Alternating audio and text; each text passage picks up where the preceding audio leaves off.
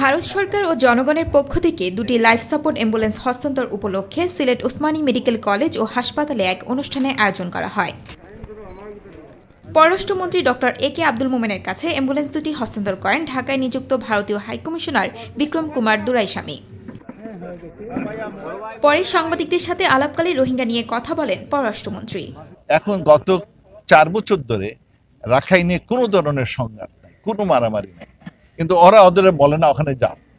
ওরা বরং এইখানে কেমনে তাদের ভালো রাখবে, তাদের হিউম্যান রাইটস তারা এক একটা অবান্তর দিয়েছে। নানান কিছু তারা বিভিন্নভাবে আমাদের কাছে আর শর্ত দিয়ে করে।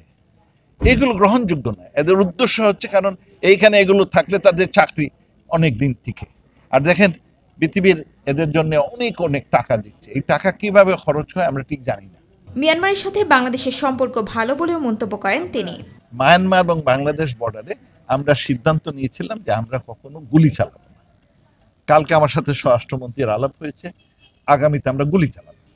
তখন এই ধরনের এই যে অপকর্ম ড্রাগ ট্রাফিকিং হিউম্যান ট্রাফিকিং কিংবা এই অস্ত্র পাচার, এগুলো যা একটু একটু, আমরা তো বর্ডারটা খুব ডিফিকাল্ট ওখানে।